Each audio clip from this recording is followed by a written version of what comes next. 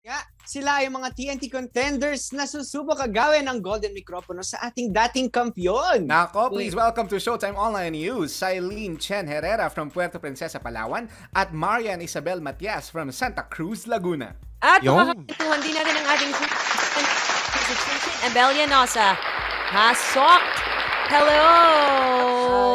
Hi Online. guys! Hi guys. Oo. Greet muna tayo sa ating Showtime Onliners with Energy. Go! Hi everyone!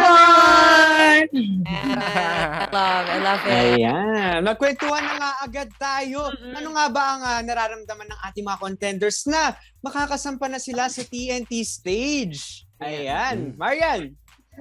Yes, um, medyo nervous po, but still, carry. Ayan. Jerry. Silent? How about Silent? Ah, for me naman, andun yung kaba, syempre hindi siya mawawala. Pero I'm here to represent Pu- Puerto Princesa and Palawan very proudly. Yun. Good luck Ayun. yung dalawa. Good Mm. luck. ha. Parang yes. bata pa nito ni ano no, ni Si Marian. Si Silene. Eileen. Oo, Oo. Ay, ni Oh. Silent. Ako po yung pinakabata sa bata. Ah, Yes. Oh. Okay. Dapat talaga ta. Kam- Siya- kasama kami doon. Siya ang bunso. Oh, kami kami.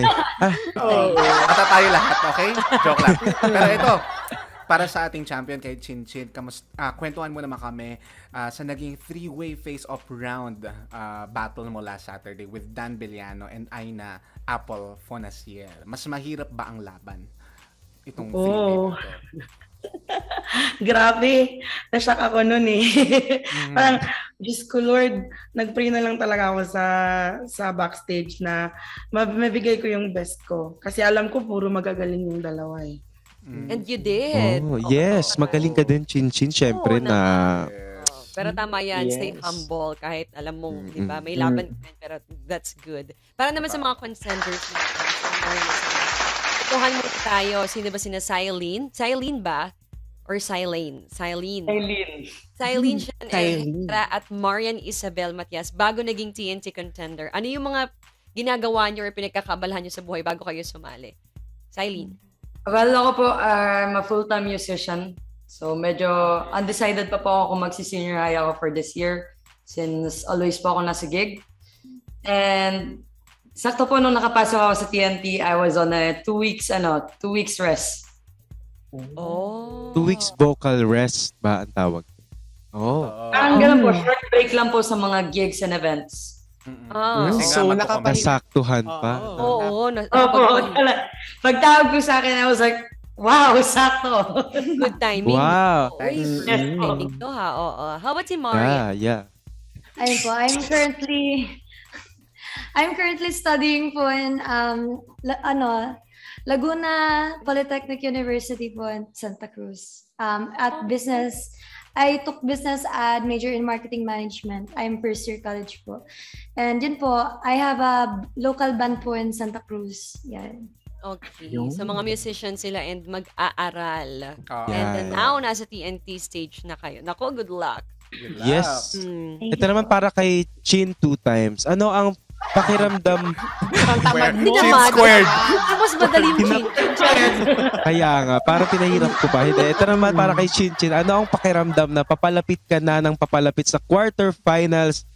Ayan, may mas pressure ba? Or, syempre, ano lang din, saktuhan lang. Ano, pressure po talaga ng kasi hindi lang hindi lang to laban mo eh, laban din to ng mga taong nagsusupport sa iyo so um it's very hard na ay parang yung feeling na ayaw kong ma ano din sa ma, I-fail sila. Ma-disappoint. feel ayaw Oo. ma- Oo. or ma-dismay. Mm-mm. Oo. Naku, for sure, proud na proud na yung ah, Yes. pinaglalaban mo. Kasi sa, sa layo Tama. parating mo, hindi madali.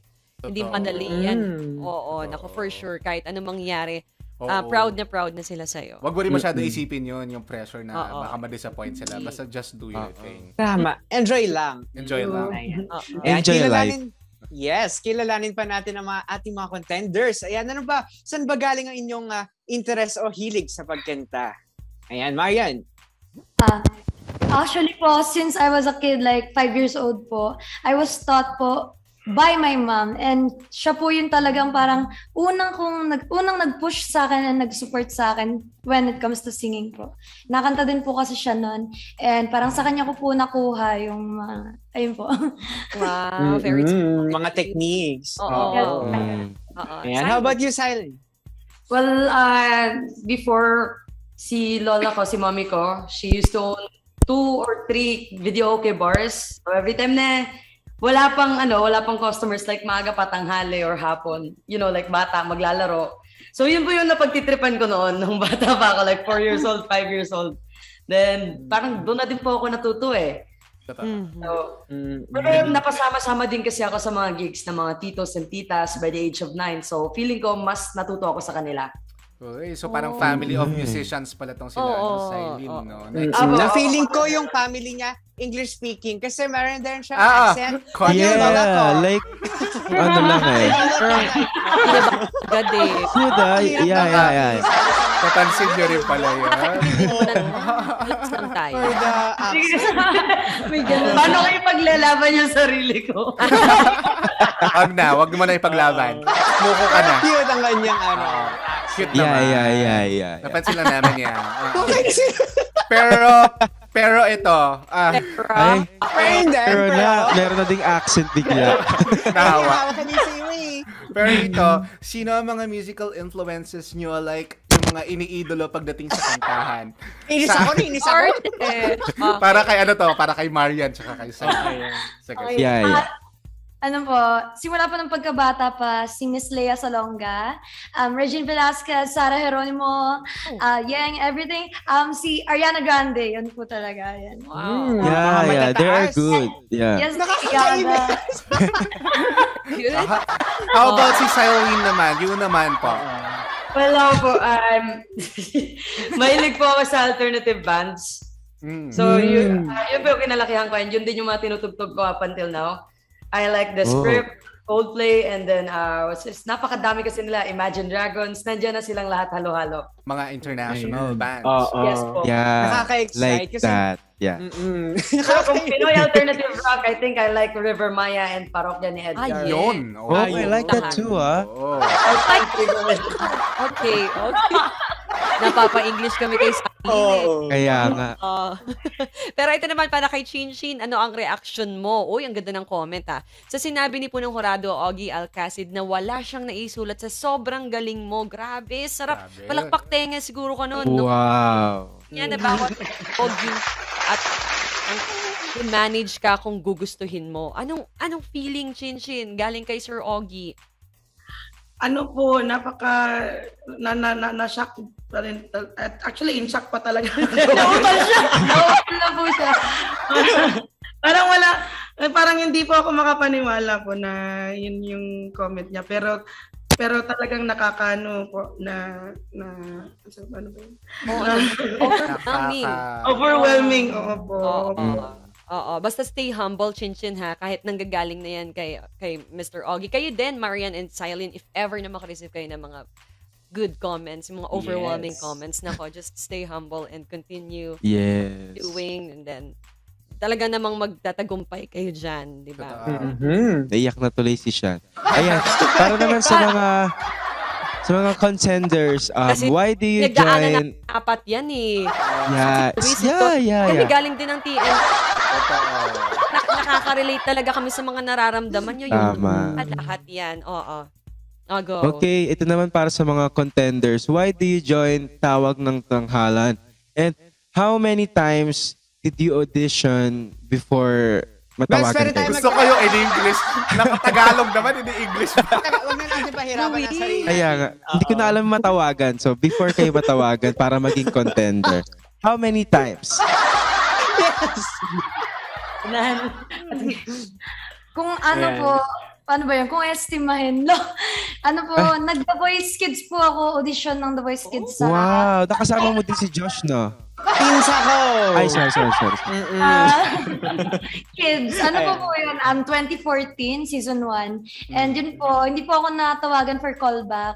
And yeah, nakapasa po sa auditions namin yun. And nag-audition din po ako tawag ng tangahalan before.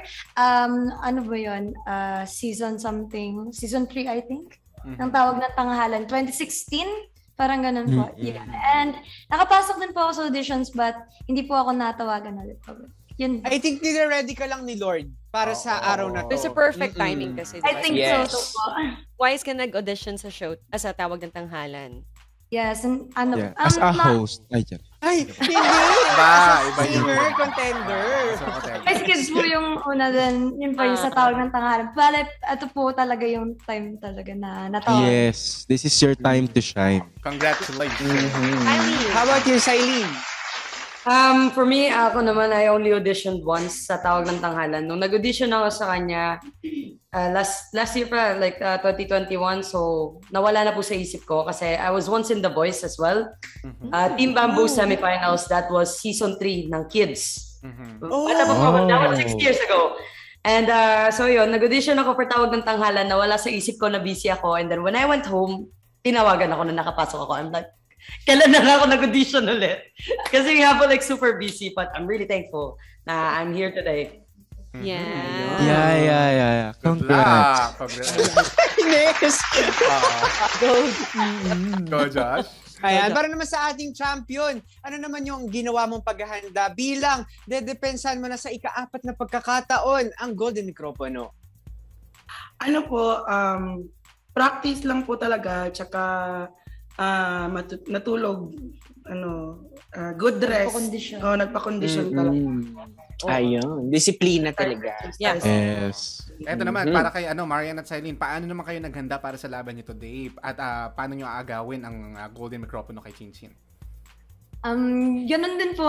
Um, sa patatulog, um, tamang pakinggan po ng mga solos namin and everything, songs. And yun po, condition, pa-condition talaga. Ah, Tamang pahinga po. Itong pahinga. Same Oh, lang sila. Ah, Yes. ah. Alright. Okay. Thank you Maraming so much. salamat. Thank you. And good luck. Thank you so much. Yeah, thank you. Abangan natin sila. Yes, maraming maraming salamat sa ating TNT contenders for today, pati na rin sa three-time defending champion na si Chinchin Abelinosa. Good Buong pamilya, buong angkan Kasiyahan ng tahanan Lahat kasama, walang iwanan madam people, my